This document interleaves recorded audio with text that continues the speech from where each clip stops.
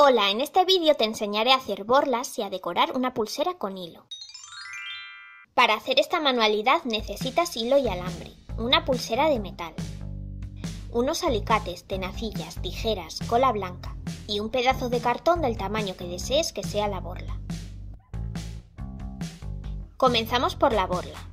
Lo primero que tienes que hacer es enrollar el hilo alrededor de la tira de cartón.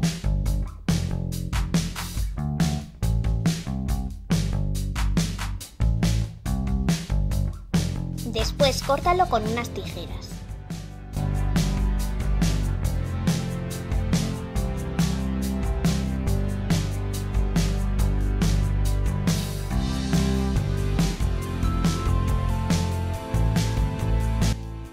También necesitarás un pedazo de alambre.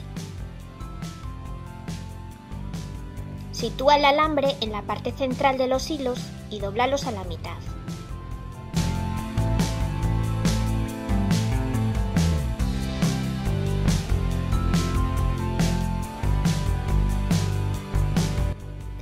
Enrolla el extremo más corto de alambre.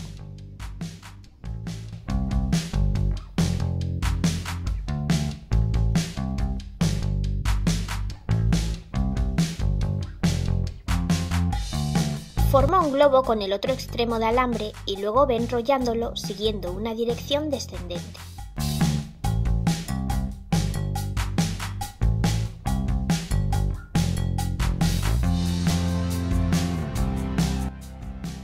Utiliza esa misma alambre para unir los hilos por el extremo superior.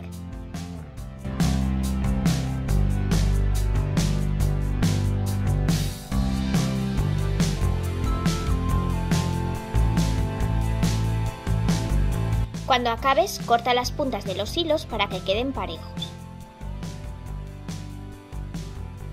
Ya tenemos lista la borla.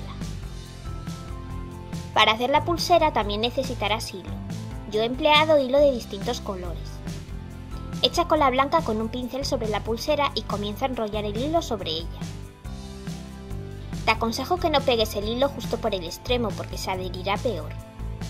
Luego puedes recortar el sobrante con unas tijeras.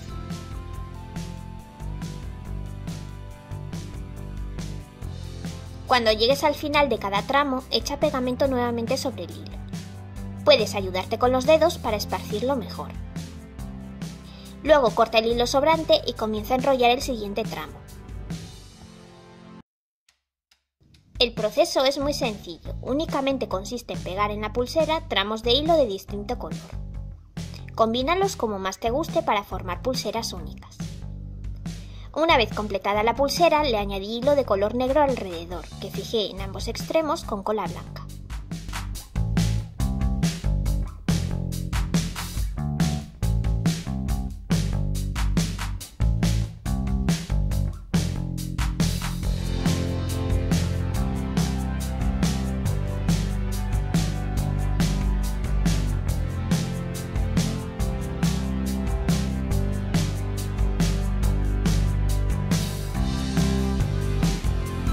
Con unas tenacillas haz un corte en el enganche de la borla y asegúrala la pulsera.